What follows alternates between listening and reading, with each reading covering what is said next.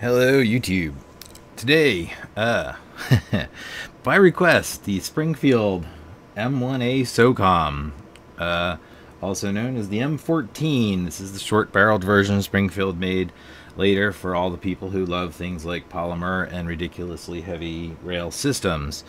Um, not sure uh, the value of all that. It is a crazy heavy gun despite having the shorter size a little more stable because of that. But uh, anyway, most people are used to seeing this in its longer, sexier wooden form. Uh, but this is the uh, polymer version. Mechanically, same, same. Uh, biggest challenge and difference between them is getting that ridiculous rail system off. And so we're starting without that uh, for two reasons. One is uh, I lost one of the screws. Don't feel like finding it.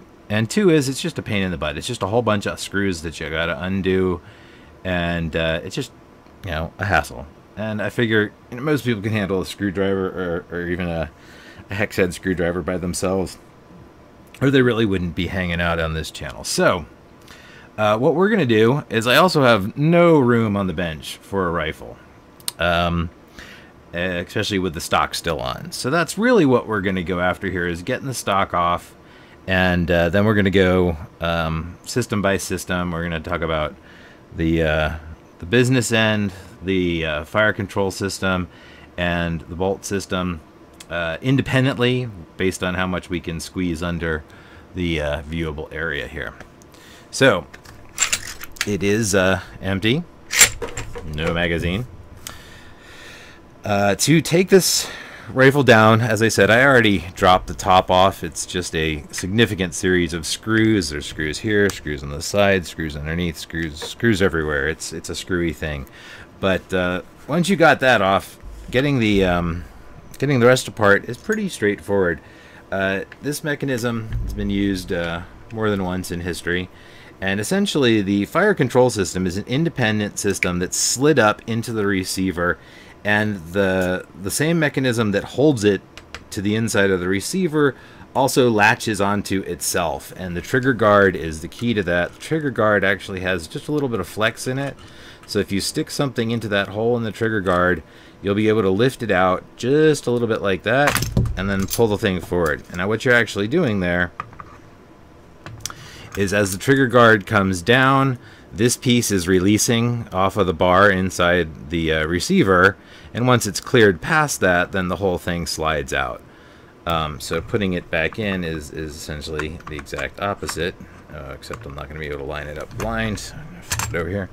Um, once you're in like this uh, you'll you'll start to feel tension as you grab onto that piece. And again you can sometimes do this with your fingers but just take something and uh, and, and lever that back and pop it back over. And again, getting it back out is the same thing. If we want to do it slowly without yanking the parts apart, we just uh, do that part first, levering it open, and then it should just slide right out. Now at that point, there's nothing holding the top to the bottom, and so uh, we can just push the, uh, the, the stock off and get rid of a gazillion pounds. I mean, this thing has all sorts of fancy doodads. Springfield did go kind of all out on the, hey, look at the cool stuff we can do. Um, I can remember how to do this without breaking off all of my nails. Uh, eeny, meeny, miny, mo. Which way does that go? I think it comes in from this side. Doot, doot, doot, doot, doot. So you've got little uh, cavity in the back of stock where if I had all the original bits there would be you know cleaning kit and all that good stuff. And then a nice butt plate which also doubles as a shoulder stock. So this if you're prone this goes over the top of your shoulder and then you pull this into your shoulder and that gives you two pieces of support there. So uh, now I'm gonna get rid of this till much later. And I'm going to try and adjust my lighting a little bit now that I have a little bit of my bench back. So apologize if that's giving anybody strobe light stroke. Um, I'm going to set the fire control system aside for a minute and get into some of the harder parts. Um, actually, no, we're going to do something easy first. we're going to just get rid of the mainspring. so um, the the op rod system here pretty substantial from here to here, and it goes through this one piece, and then it has the recoil spring and recoil rod uh, going all the way up inside it. And so to get this guy out, the first thing we got to do is ditch the recoil rod. And uh, that's being held in by you know spring force and uh, this pin. And this pin can only go so far because it's got a tiny little roll pin in there as well. So if you relieve the pressure with your, with your thumb, uh, you can pull this pin out or get something behind the roll pin and get it off to one side.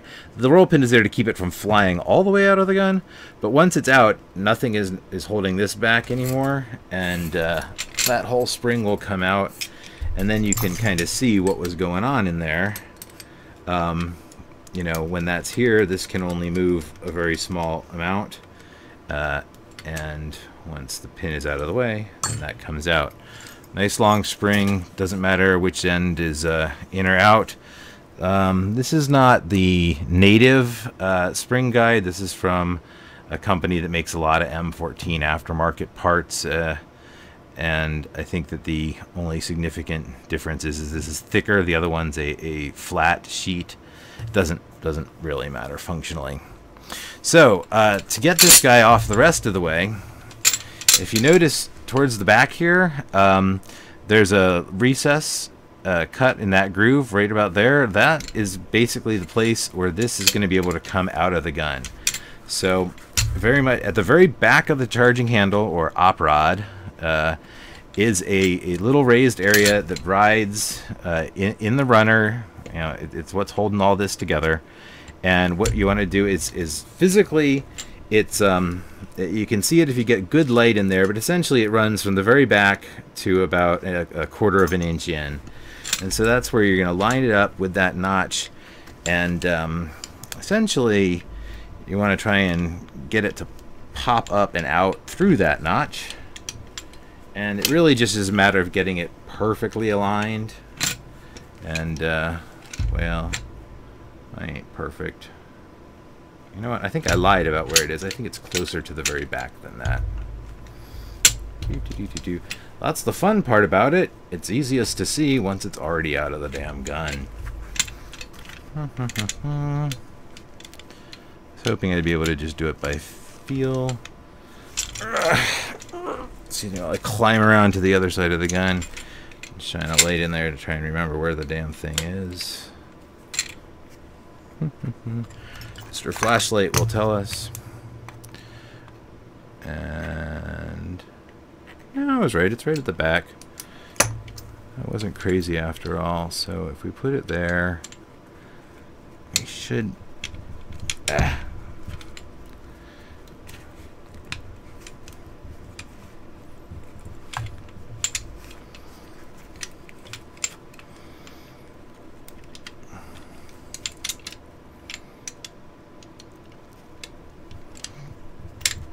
Ah!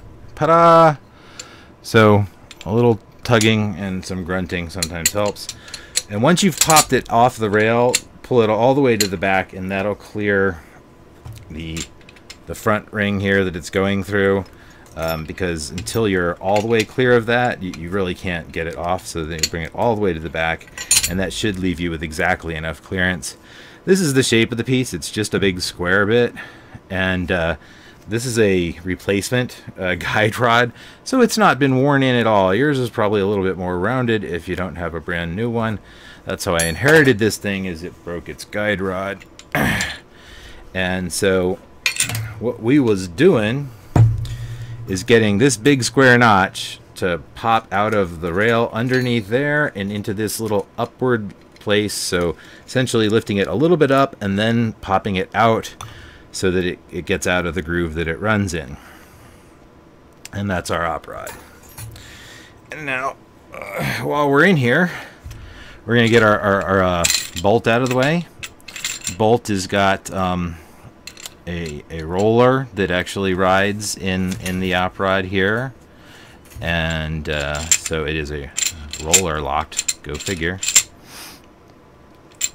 Which is not significant in that that that's the actual locking lug back there and, and this surface here. So this is why it can't go backwards as it rotates, and then it can't go back when it rotates up. Now it can go back. To get it out of the gun, um, you're going to pull the bolt back past this ledge here, at which point you can lift it up. And then if you start to uh, essentially just um, rotate it, in my case, since I'm facing the bolt, rotate it a little bit clockwise, it, will essentially roll out and, roll back in at the same angle. Um, just don't force it. It's, it's going to come out really easy when it lines up.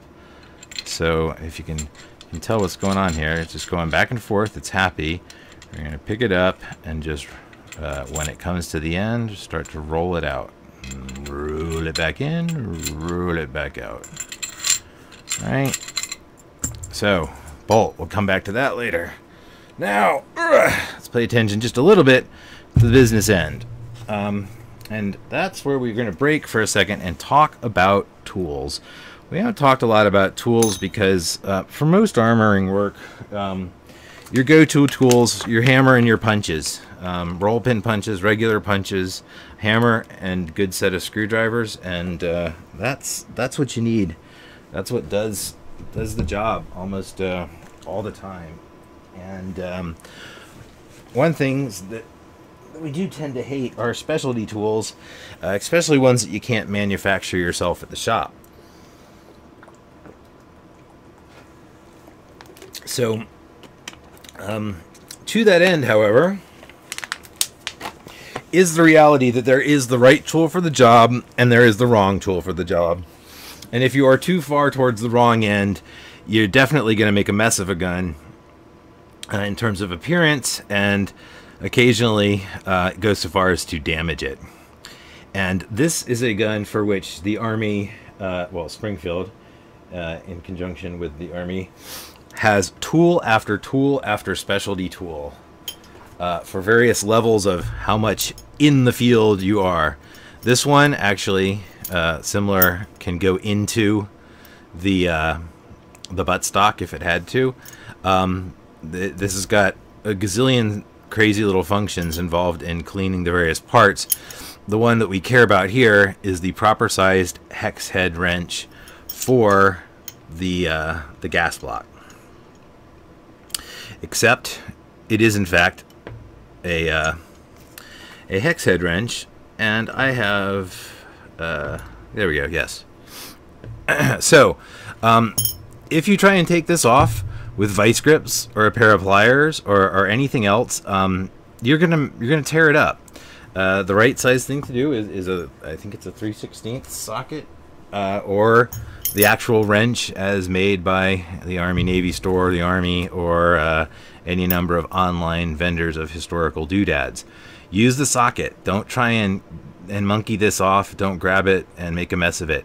It's not going to come off easy it's going to be on there hard. It is going to be cemented in place because it's the back end of the piston system. And uh, unless somebody has gone through great lengths to put a whole lot of very high-tech, high-temperature, moly-based uh, grease on there to make sure that it's going to unthread nicely, it's not. It's going to be fierce. This one is perfectly clean, has some oil on it, and I still had to uh, monkey it off with with super strength earlier today, uh, just when I was uh, getting it ready because it's been sitting for for a better part of a year, and I uh, had cinched it up when I last hit it, and so it was hard to get to. Now, with that off, in a clean enough system, the piston should plop right out. Now, in reality, your piston may barely even move at all if it's covered with funk.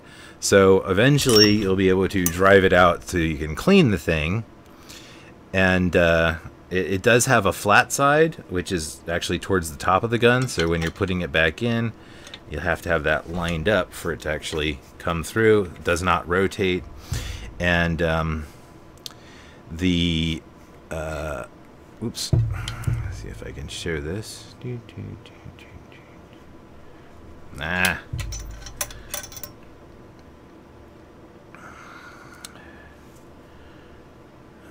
what am I trying to demonstrate here? Oh, right. So uh, when the piston is closed, this hole is uh, actually um, where the gas can bleed off. This is the the gas valve, and uh, you can turn this off. You can turn this into a straight bolt action rifle with uh, the mighty power of a screwdriver uh, by turning this valve uh, to the horizontal position. Um, if I do this, helps to push in just a little bit. It is on a spring. Uh, the hole that goes through that that uh, that screw is lined up with the slot. So like this, uh, it's the hole is this way, and that means there's no path between the barrel and the gas system. So that if you ever see somebody whose M14 doesn't go, uh, chances are their buddy took a screwdriver and played the biggest joke in the army, at least if you're in the army in the 60s. Um, there is a small roll pin on the other side holding that in place. Don't lose it. Uh, generally, the spring should be enough to pull back on that um, and keep it from falling out. Uh, so what was I saying? Okay, so when this is in place and it's it's closed, that hole in the piston is right there. So when the gas comes in, it actually fills the inside of the piston and pushes against the the uh, the stopcock essentially, um, and then comes forward. And the minute it starts to come forward, that's it. You've closed it off from the gas again. So it really is a, a moment that that it has to fill that. And the minute the piston starts activating, it's pretty much disconnected.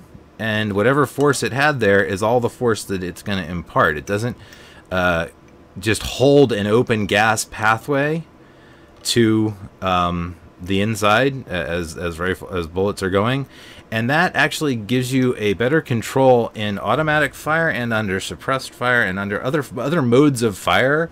Um, essentially, uh, the pressure bleeds off, but is is then immediately cut off as the piston starts to move. So the next uh, thing that requires a tool is getting this off. If you try and take um, this muzzle brake off without the right tool, uh, you're going to mess it up big time. And this one, it got monkeyed with pretty hard. It's been in a vise once or twice in its life, you can tell. Um, this is the tool. It's not really expensive. Um, I don't even think this one's, yeah, this one's aluminum. Ooh, tuning fork. Um, aluminum, not, not even steel. And it goes uh, over and you want to make sure you're not in between the two pieces of metal. This seam here is, is where you're going to go, and you hold on to it there, and um, uh, you're just going to crank it off. And this is going to take a minute, so excuse me to do, uh, excuse me, my grunt off screen.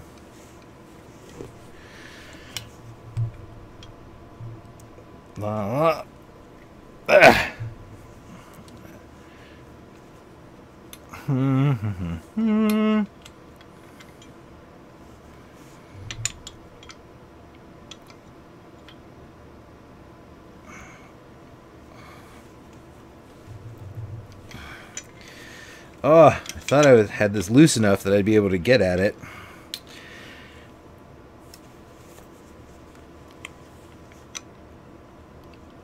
Ah.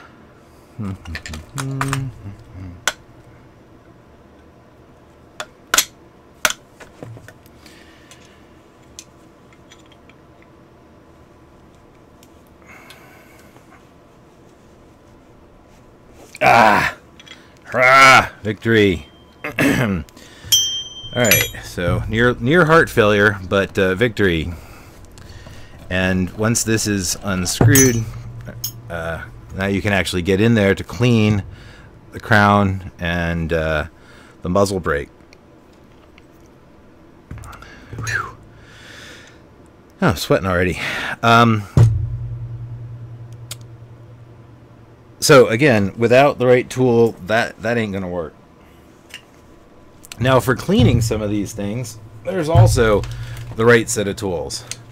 And that is mainly uh, these bad boys.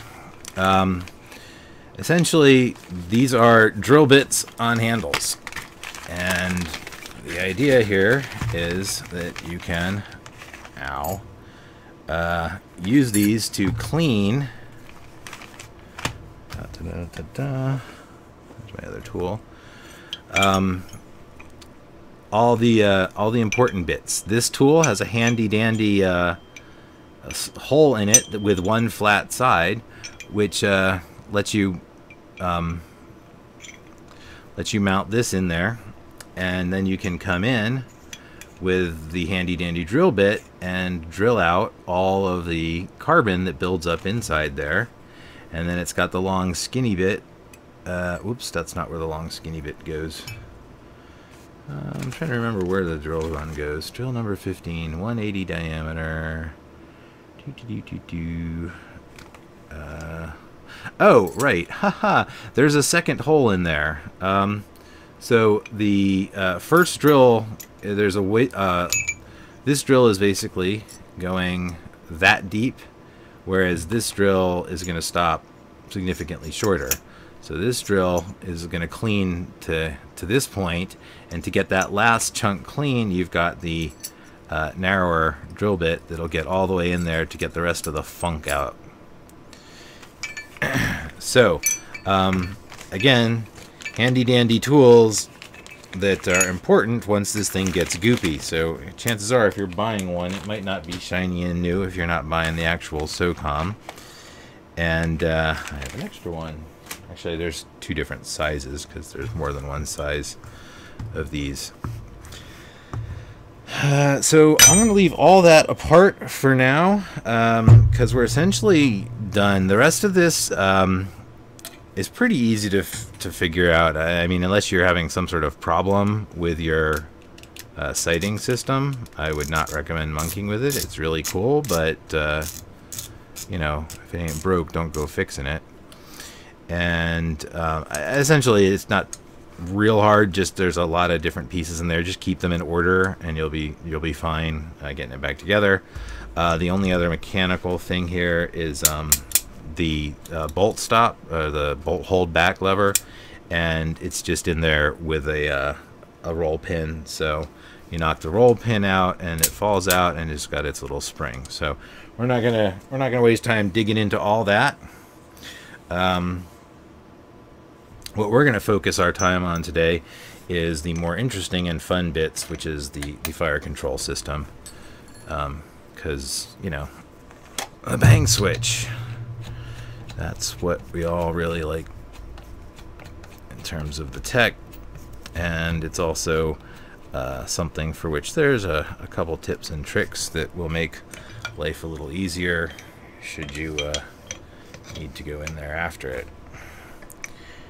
Getting this back on is the same as getting it off. Um, you may need to put it in a vise. If you do have to put it in a vise, uh, you either got you got two choices. You can either buy the correct uh, block to hold the receiver block, the receiver properly in there.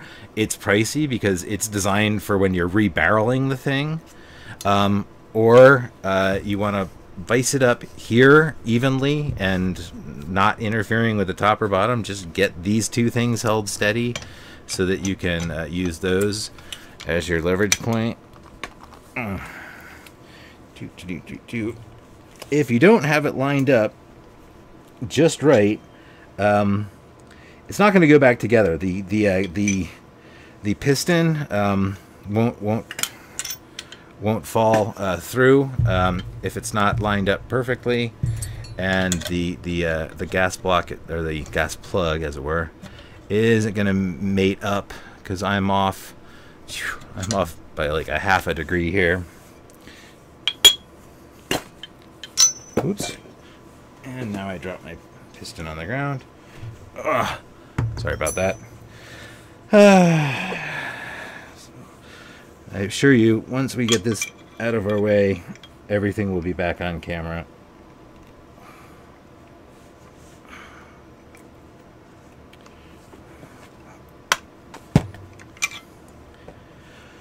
Did I get that far enough yet? Yes. Yes.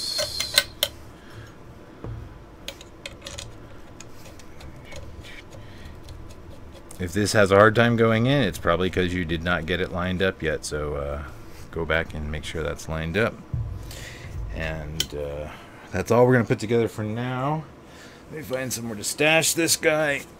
And uh, one more on the topic of tools, which is we will talk about the bolt, but if you don't got one of these or its equivalent, don't take the bolt apart. that lesson, I, I don't know if there's enough ways to say it, or if everybody has to learn it the hard way. I certainly was told it before I learned it the hard way. Didn't help me, but maybe it'll help you.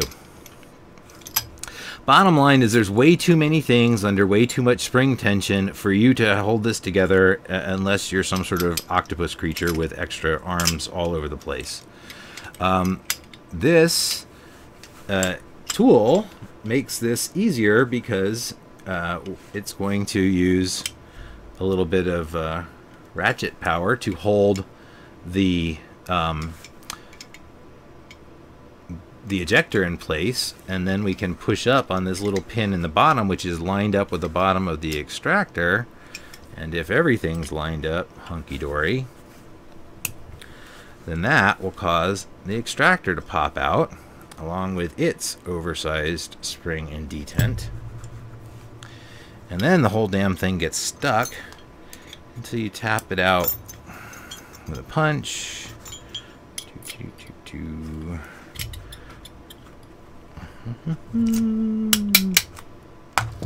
like that, at which point we can release it all. And now, that spring, you're not going to push this in with your thumb. It, it just don't work that way. And the firing pin. So that's all the pieces. And if you were unfortunate enough to try this and you succeeded, maybe you got a punch under this guy when he was in there and you hit it really hard and somehow you didn't lose the spring and detent, uh, you're ahead of 90% of the people if you hit it and you got it apart. But uh, the chances of you getting it back together again without the tool uh, are small. There's just no good way to do it. Um, now the tool is fairly makeshift. They're not rocket science. They're cheap as wood. So highly recommend them. And the, the what's going on in here is that each piece is holding in the previous piece uh, in, in some in some fashion. Um, so as the extractor goes in, the extractor is gonna the, the the firing pin is flat on one side here, and the ejector has a flat cut into it. Those guys are going to be lined up because uh, the pin of the extractor rides across both of them which means that you've got to have them both in place before you put the extractor in. So firing pin goes back in, extractor spring of doom, ejector spring rather, and again now you've got to worry about the ejector being perfectly on its side. And once again, without the tool, this just sucks. And of course, even with the tool, you gotta still get all the parts together at once and uh, get them all lined up. So make sure that's lined up vertically. Make sure it's lining up with the part of the tool that's going to push it in, which when you're first starting this out is pretty challenging to be honest. It kind of want wants to move all over the place till you get it under some pressure.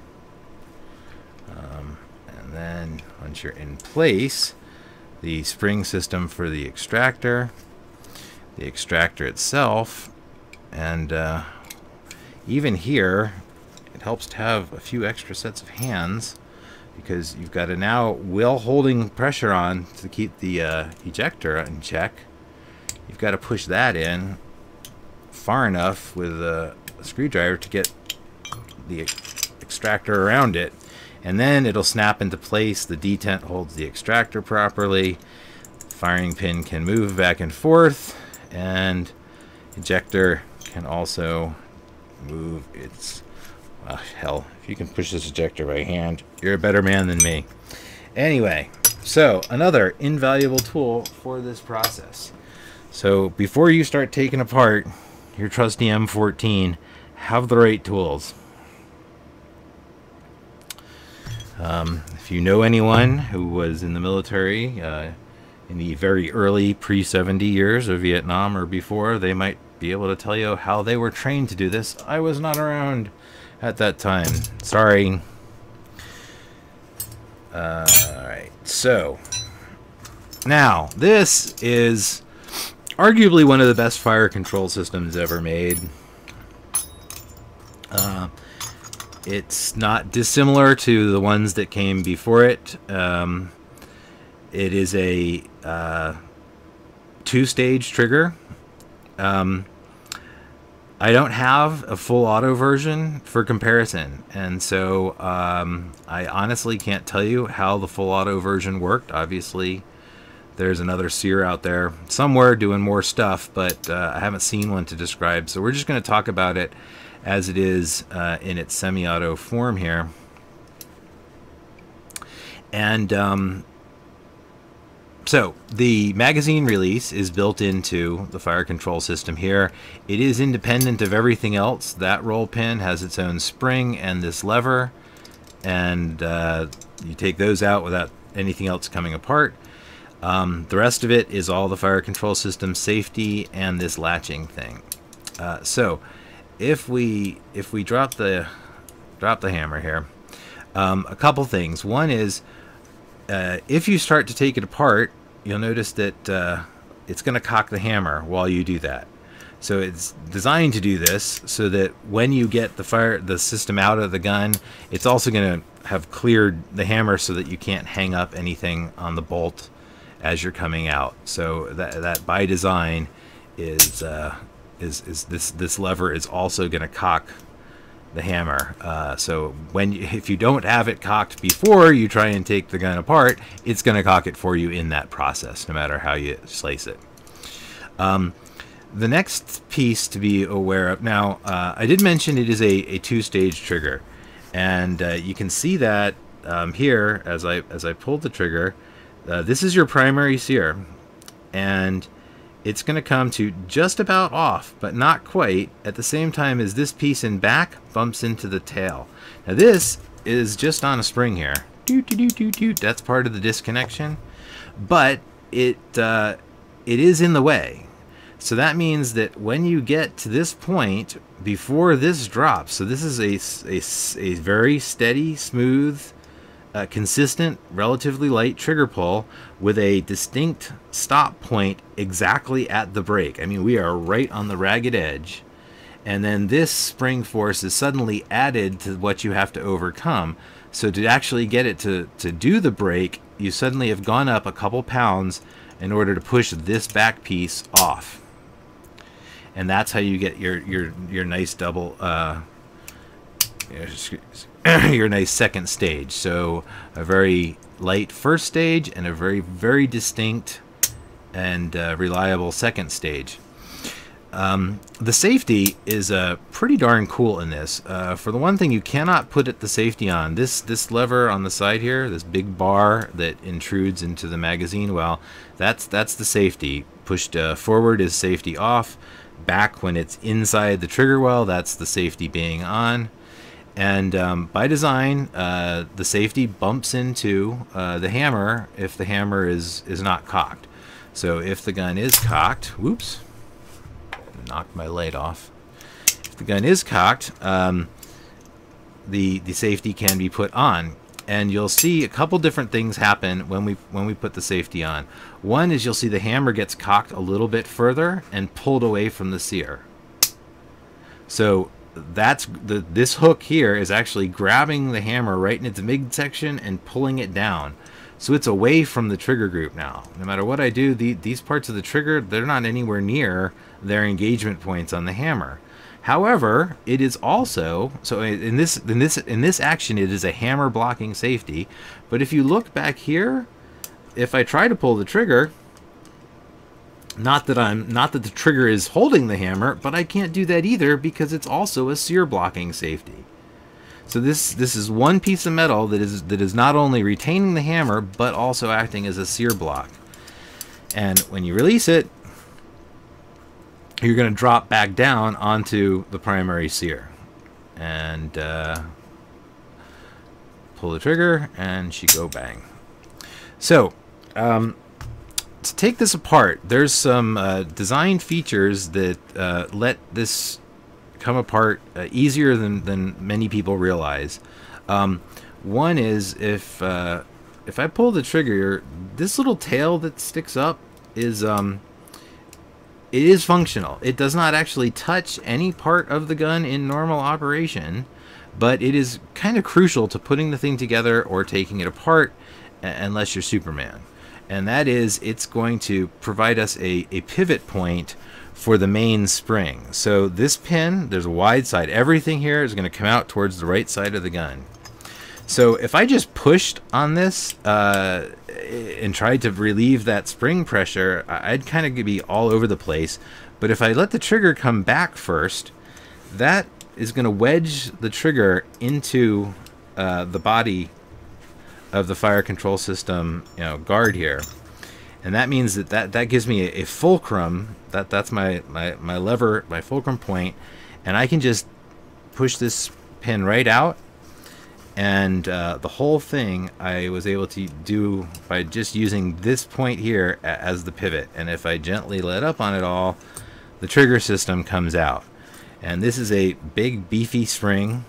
Um, this uh, here is where it pushes on the base of the hammer and big spring this uh, spring guide here um, has an opening on one side. That's actually uh, where the safety comes up. It's cut out so there's room for the safety to move. If this had a fully cylindrical body, it would it would be too wide.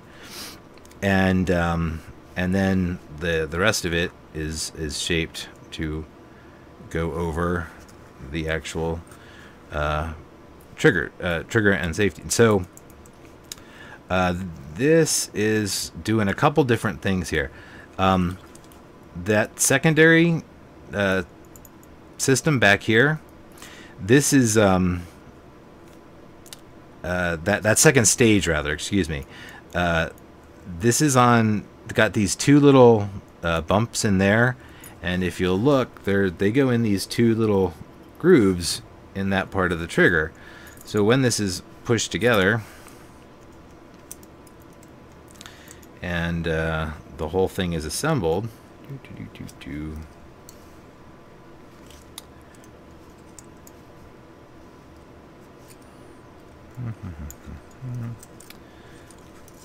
whoops. I just got parts everywhere. Sorry about that.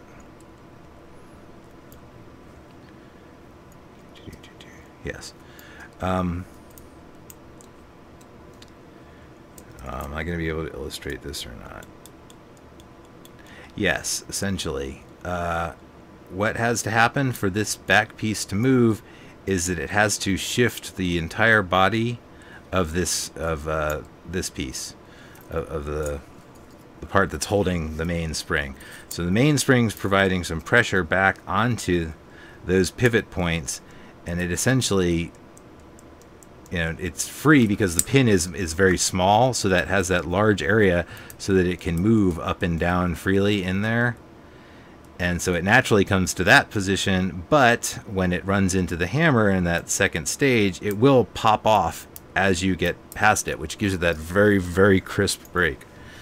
Um, pretty darn cool to be honest. Set all those guys aside uh, now that there's no uh, other force, you can see that the hammer is still attached to uh, the, the takedown to trigger guard.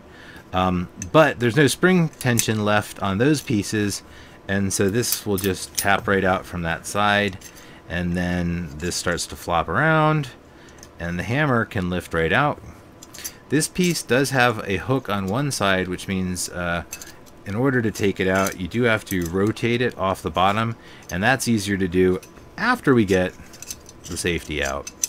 Um, the safety itself uh, still functions, and you can now see the spring that's operating it is just pushing up underneath it, and it's the shape of what we can't see right now that determines that. But the safety itself, this is the big hook on uh, the backside, and this is uh, where that hook finally can grab onto the hammer.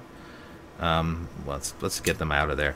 Uh, this is just going into the, this has a, a, pin on one side, So if we just lift it up, it comes free. The spring also comes out. And then this last piece, since we're here, uh, you just rotate it off. It, it does have this one edge that, that you have to put on first, but beyond that, just, you know, once it's towards the bottom, it'll, it'll easily just rotate off uh, without bending very much at all um, off the bottom there.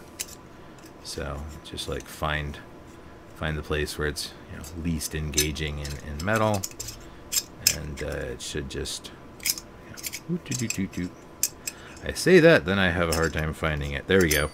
Uh, these these areas here where it's uh, a little it's it's beveled in. That's the that's the easy place for this to happen. That's what they're designed for, essentially, is to to give this room so that this piece doesn't deform when you put it on or off.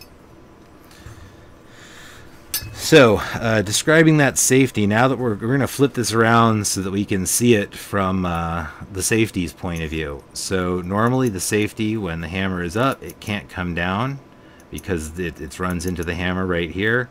Uh, once the hammer is cocked, however, it can, and not only can it, but when it comes down, it's going to pull that hammer uh, even further down. And so that's what's going on when this safety is actually pushed on. It's going to push past that piece and cock the hammer past the uh, the trigger uh, control systems.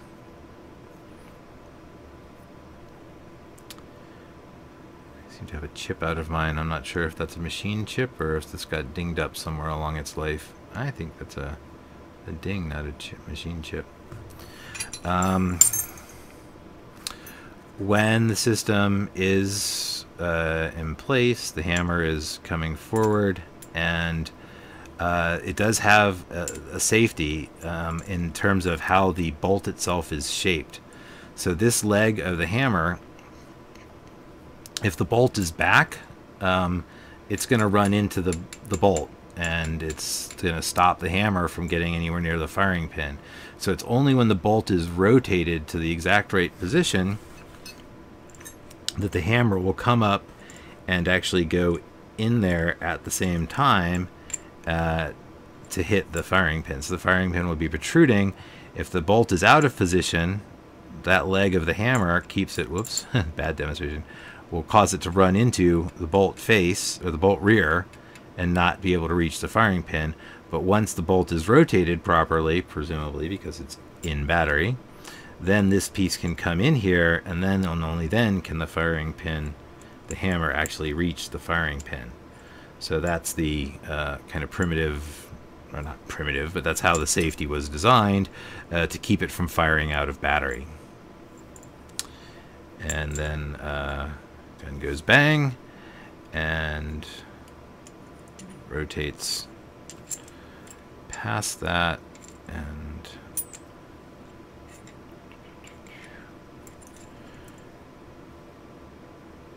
hmm. I'm gonna put this together because I'm not sure where the disconnect actually happens in this firearm and now I'm I'm interested. I think it has to do with uh, this mechanism itself is going to um, always be there to grab the hammer when it's underneath it. And when you let the trigger go only then can it drop to the primary. So this is also our our disconnector I believe and that uh, after the gun has uh, has been fired um, and the hammer's going to come back and pop under this piece and be caught by this piece because of the angle of the trigger and uh, and only when you release the trigger will the hammer come up and get caught again. So let's put it all back together. Uh, this spring, um, we look at how the, the underside of the safety uh, actually looks. Uh, this spring sits like this, and so it's either going to be popped into that location or that location and that gives the safety that's good thump thump feel as it goes on or off. So we're going to drop that spring in first with the long leg upwards and it, it just goes over it, its pin in there. And um, I'm going to go ahead and guide this back on for now, just, uh, whoops, just because it's easier to do before we put, you know, for some reason, this is always, there we go. Get that one on. And we're going to put the safety down through its little hole. Make sure that we're going to catch the spring lining up with the, the hole in the back at the same time. Pop it into place. So long as I hold them together, I should get that firm snap, snap back and forth. Um, gonna grab. Now this is another one where we want to put this together um, uh, carefully uh, because the trigger guard does engage the hammer. Um, and if we if we have the trigger guard all the way open and, and we stick the hammer in in, in the up position, uh, then that's not how they work. The the trigger guard has to be able to pull the hammer back, and it's going to pull it back by that left leg. So when this all goes together, that leg has to you know, be behind the trigger guard. So when you line it all up, that's what you want to make sure is is happening. And do, do, do, is that going to bring those guys to whoa have the safety off when you do this. And I believe I have it off. I believe I have it wrong. mm -hmm.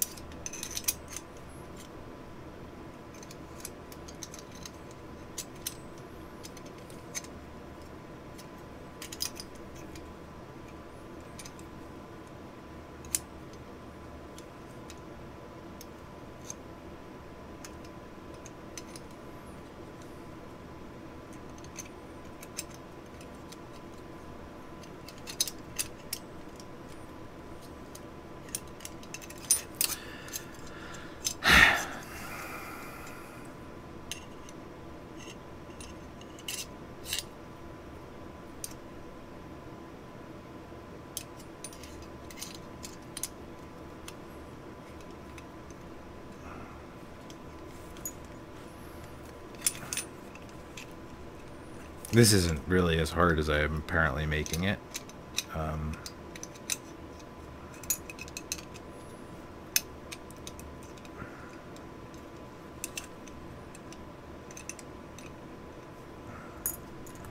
uh, there is a wide end to this pin. Uh, again, when you're assembling, it all assembles from the left side, and and this is completely wrong. These are not locked together. Wow! After all that fiddling, I still managed to put it on the wrong side of the damn piece.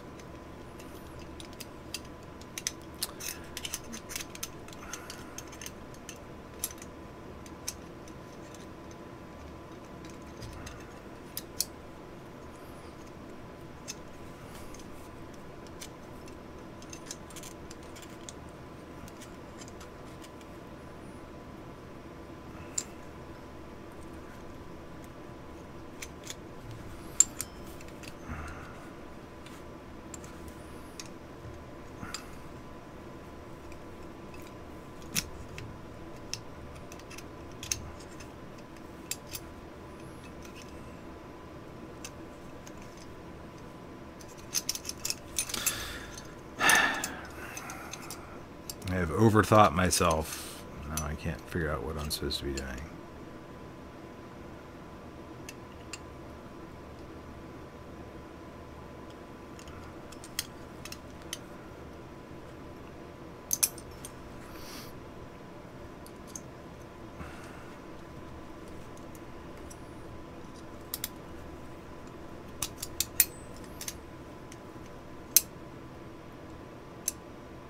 What? This this was right the first time I did it. I just, without the spring tension there, uh, I threw myself off.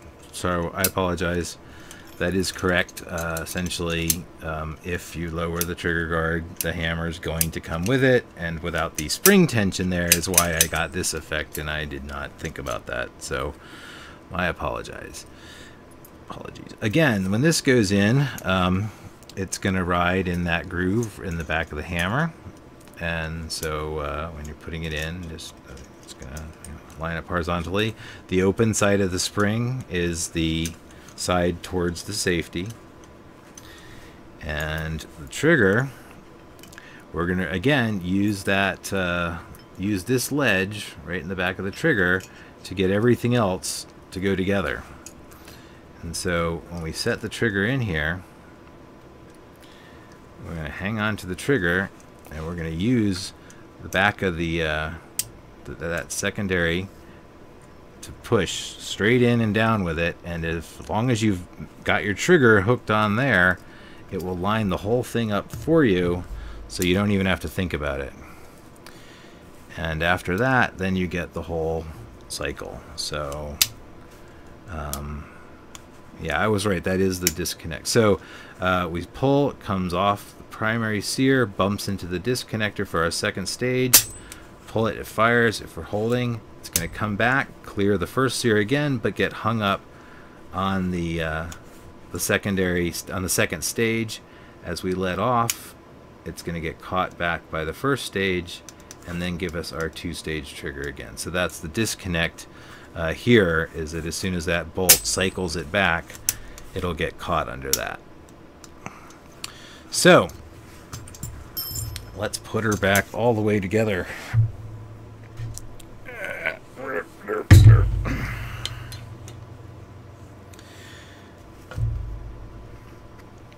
So first things first, we want to get our, our bolt back in. Um, and again, we just do our little rotation trick and get it uh, rolling in there. Now our op rod, I want to line it up just uh, up here, you know, first with where it goes, and it'll it'll flop in place but not be in there firmly. And now is where you want to make sure that the roller is under there to make sure the bolt is not, you know, you don't want to get this in the groove without it holding on to the roller. So place that in there and then uh, the op rod should be able to move far enough to the back. Whoops. Do, do, do. Gravity is apparently not my friend today. There we go And we should be able to convince this guy. There it goes. Hop back in the groove, and bolt is going to move with him, rotate into place. That's our lock. And uh, from the back end here, we can see on camera, I'm not sure how well you can see this. Me try it like this angle maybe. Um, when it's all the way in place, uh, if you can make that out, can you make this out? that uh, this area here is is now where that leg of the hammer can reach into it but if the bolt is uh, cycled it's been rotated and now that piece would would bump into the, the actual back and so it's only when it rotates into place that, that that that's out of the way enough that the hammer can reach our firing pin. Oh. um, next we want to put our spring back in. So spring goes all the way inside the charging handle. And then our, our spring guide. And this just requires a little bit of finagling because it's a long piece but once you get it uh, started into the guide you'll be able to get it in there and then uh, you will have to relieve some of the pressure off it to get that pin in and once it's in there this will get held in by uh, the side of the stock later on, which means we're ready to toss it back into its stock. If we can remember where we stuck the stock. So to do that, uh, the lip of the stock uh, goes, um, whoops, let's hold the gun right side up. The, uh, lip of the stock will go into this, under this groove here, so that's uh, that's how it goes together at the front end. And at the back, it really just clamshells in there. And uh, that's the whole you know, kit and caboodle there. And then uh, this um, this groove here, or sorry, the groove in the in the in the receiver is uh, matched up with this rail here so that's the part that you actually have to line up when you're going in. It's pretty easy to do though because uh, the thing is going, uh, unlike most guns, th this is really going straight up and down. So if you're lining up the back and the front and all that at the same time, you're to do that. The key to remember is just make sure the trigger guard is open. Once it's all the way in, as you push that trigger guard back, you will feel it start to clamp on there. And then you can just push that trigger guard and it should snap its way over. If it doesn't do it voluntarily, again, you can, you know, ease some of that pressure off with a, with a screwdriver in there to get it that last little bit of the way pop over. And, uh, and we just function check that bad boy. Good lord. It's a good thing you guys can't see all of this. It's pretty hilarious though. So we rack it, pull our trigger, rack it again, listen for that reset. There it is. Single stage to second stage, and it works. And we might even be able to see that safety in action if we uh, if we hold this back and drop it. See how the hammer didn't reach the firing pin? Hammer stopped there because it bottomed out on our bolt. And now if it could bolt is all the way forward though, then the hammer can reach it. So only when the bolt is in the locked position can that hammer actually get in there. And of course, if everything else is working, our bolt pulled open will also hold. And, oh, didn't test the safety. So, pulling the safety, and now we know that the hammer is held back, the trigger is held back, everything, because that's just a monster safety. So, there it is. That is the Springfield M1A SOCOM and like I said, getting the rail back on and off, I will leave as an exercise to the viewer. Once again, a lesson in correct tools for the job. Um, some of these are, are indispensable. Uh, without this to get that that uh, that muzzle brake off, and without the right size socket, uh, you're just going to make a mess of some kind of pricey parts of the gun. And if you go after your bolt without something equivalent to this, you're also going to have a real bad day. Um, this one is actually handy because this will actually do uh, M1, or M14s and um, uh, what's the other one? The M M1 carbines, uh, which is handy. It's got two in one. Um, I might have that backwards. It actually might be the M1 Garand in this one, but I can't remember off the top of my head. I can't remember what bolts look like till I'm actually looking at them. Hope you had fun.